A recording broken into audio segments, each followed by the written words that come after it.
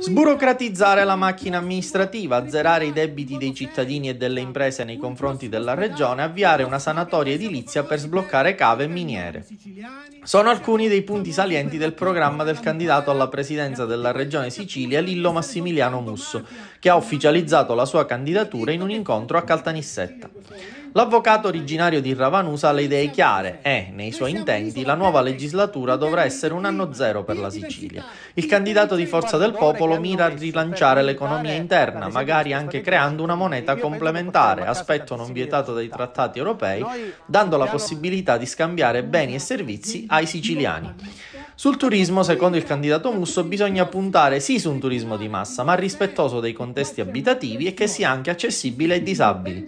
Ai nostri microfoni Musso ha parlato anche di infrastrutture e sanità. Sentiamo le sue dichiarazioni. Il programma di Forza del Popolo per eh, la, le infrastrutture eh, non può prevedere nient'altro che di mettere già in atto quello che c'è. È inutile promettere aeroporti o seconde linee ferroviarie se non siamo in grado di garantire la sicurezza delle strade e l'efficienza eh, dei trasporti eh, pubblici.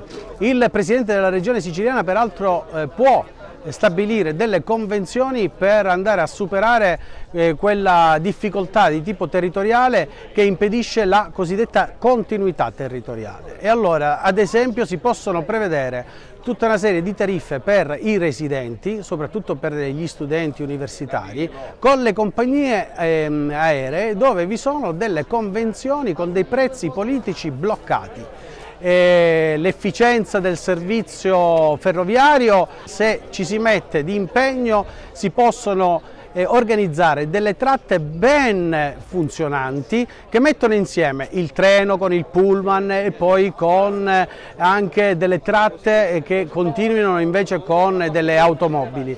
Noi sul piano della salute, della sanità, vogliamo mettere in campo una grande opera di prevenzione e di educazione sanitaria, a partire dall'alimentazione e da un uso eh, non scriteriato dei farmaci, perché è chiaro che oggi i farmaci al, nella grande maggioranza dei casi, la mia non è una generalizzazione, eh, sono la causa di patologie che richiedono ulteriori farmaci e quindi non è normale che sessantenni si ritrovino a imbottirsi di farmaci dalla mattina alla sera e prendere pillole come se le, la, la, chimica fosse la, la, la, risposta quando non si va mai alla causa.